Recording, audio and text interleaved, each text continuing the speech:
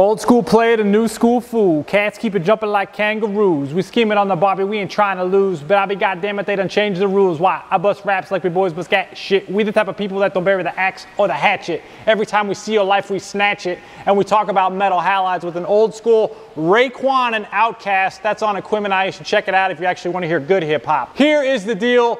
Old school, right? Old school. Everybody wants to talk about the latest rave mode on your freaking LED lights. You got rain mode, you got rave mode, you got flicker mode, you got not growing plants mode. Why am I hanging a metal halide here? Old school technology. Everybody just wants to get the newest, the latest, the greatest thing. They want the new, new, new. It's got to be better. Talk to the coral guys that gave up their old T5s and switched to LEDs early on. They killed a bunch of corals. Talk to the coral guys about when they gave up their metal halides and they switched switched over to LEDs, light emitting diode versus halide. Here's the knowledge, bringing it to you. Metal halide has metal alloys inside of it that are heated up with argon gases. Those gases produce a rainbow of colors red, orange, yellow, green, blue, purple. Okay, that's the rainbow, that's the visible light spectrum.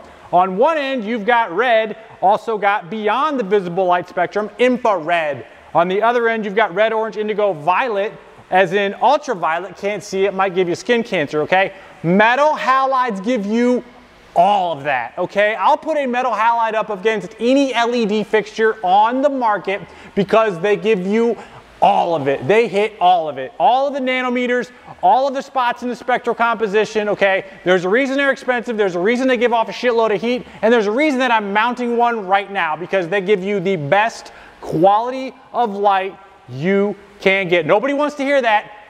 Dusty's mounting about six of them around here.